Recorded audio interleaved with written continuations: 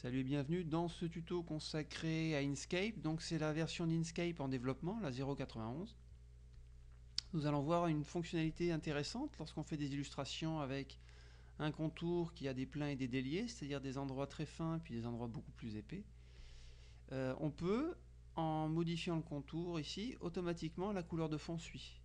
Même les deux couleurs de fond, hein. l'ombre et, celle de derrière, un peu plus, claire. Alors comment réaliser ça? Ben, C'est très simple. Avec l'outil crayon, on va sélectionner donc l'outil euh, Bézier avec un lissage de 40 et on va sélectionner la forme, on va prendre ellipse par exemple. Hein. Voilà la forme ellipse. On réalise une petite tête euh, assez rapidement. Hop, voilà, les joues. Tac. Je vais faire une petite oreille. Voilà, bien ronde. Tac. Hop, ici les sourcils, le nez, la bouche, les yeux. Voilà. Donc là, on peut retravailler un petit peu si on a envie de, peaufiner un petit peu tout ça. Je fais apparaître la palette remplissage. Vous voyez ici, on a des blancs. Ben, en activant ici cette petite option, clac, ça remplit les, petits trous. Alors avant, bien pour mettre un, fond, ben, on était obligé de... Alors évidemment, hein, si je, je veux mettre un fond ici comme ça vite fait, ben, ça ne s'applique qu'au contour. Donc on était obligé avant de dupliquer l'objet, d'aller ici dans chemin, de supprimer l'effet chemin, de mettre la couleur qui va bien et de mettre ça à l'arrière-plan. En plus de ça, là, il y avait des, petits soucis parce qu'il y, y, a, des blancs.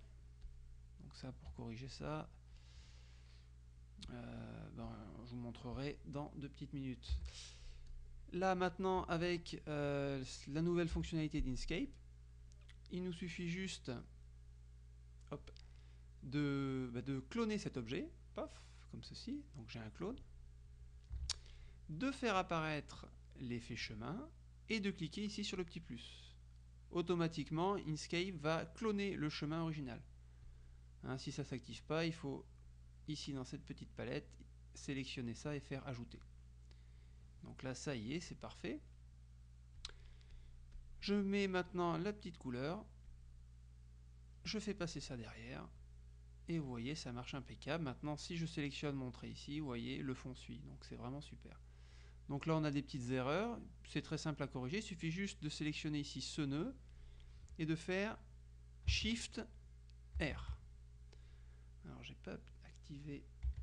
J'aurais dû activer. Voilà, ceci.